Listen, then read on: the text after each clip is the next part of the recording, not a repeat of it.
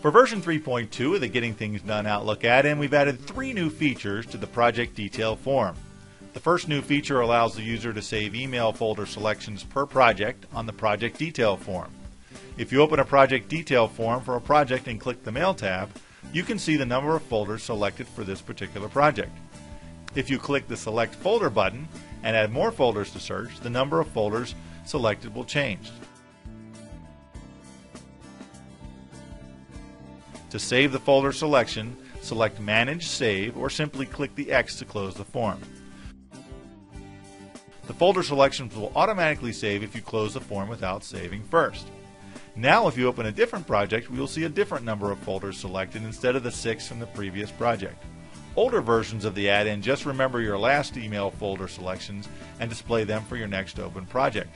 Not anymore! Now you can save email folder selections on a per project basis.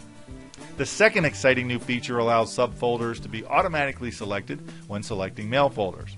Before, users often had to select the top folder as well as each subfolder located under the top folder. Tedious. Not anymore. Once you select the top folder, the subfolders will automatically be selected too.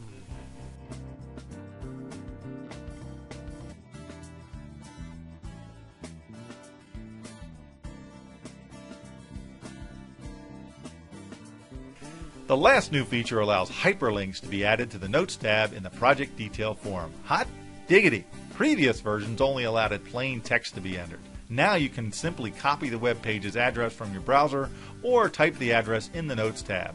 Click Manage Save to save the changes or simply click the X to close the project detail form.